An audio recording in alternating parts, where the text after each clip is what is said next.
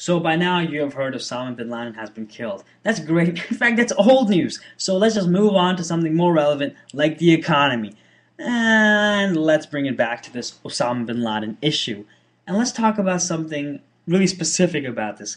How do people feel about uh, hashtag OBL being killed? More importantly, how do I feel about him being killed? Well, I see it from uh, two angles, and they merge and they meld and they weld together. Number one is how I see this as a Muslim, and number two is how I see this as an American. As a Muslim, I am relieved, and this is because Osama bin Laden was an enemy of Islam, especially the Islam that I believe in. And the kind of Muslim I am is that I'm a Muslim for peace. And one of the things that we believe is that terrorism, eh, there's no place for terrorism in Islam. Look at this sign. There's no loophole in this sign. I mean, come on, seriously. And m- many Muslims, if not most Muslims, believe that Islam is a peaceful religion. Osama bin Laden and his cronies were not those Muslims. As a result, they were enemies of Islam. In fact, uh, they even killed thousands of Muslims who would not uh, be- agree with what they said or believe the way they did. So it's not, uh, it's not, we're not at a war with Islam, and I'm glad that um, President Barack Obama said that. Uh, it's very it's very comforting, uh, and uh, it's always nice to hear.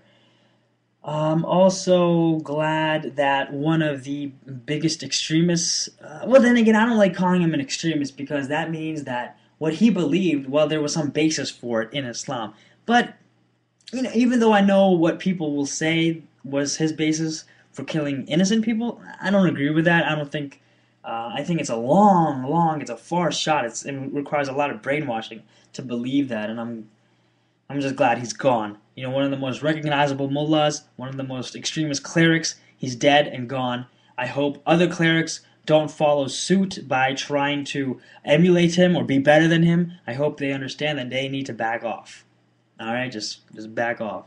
Which leads me to the, my second point. How do I feel about this as an American? I'm happy. I'm happy because this guy was one of the biggest enemies of my country, and he's dead. You know, he he he attacked America countless amount of times and uh, killed a, a lot of people, and he has paid the price of war, of waging war. So that's it, you know. But I'm not gonna go out in the street and go like, "Yeah, we're number one. We're number one."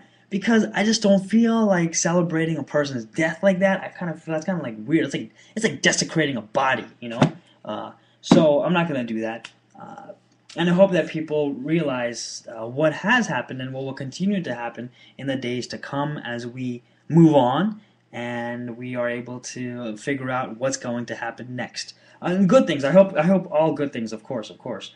And that's how I feel about it as an American. And then earlier I said how I feel about this as a Muslim. And it all merges together. It all welds together. It all melds together. Uh, as a Muslim American, as a Muslim Muslimakin, that is how I feel. And I hope you have some uh, commentary to provide below in the comments section. And I look forward to reading it and responding to it. And uh, uh, even if you're if you're just trolling around, uh, I welcome you too. So you know, look forward to hearing from you in there.